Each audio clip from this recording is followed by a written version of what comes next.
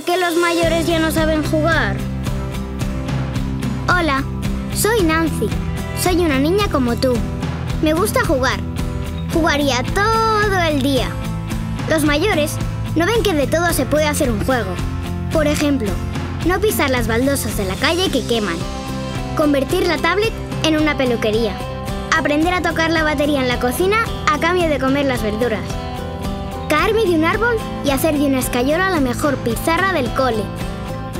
Mi abuelo siempre dice que hay que mirar el mundo con mis gafas. No sé por qué me dice eso, porque yo no llevo gafas.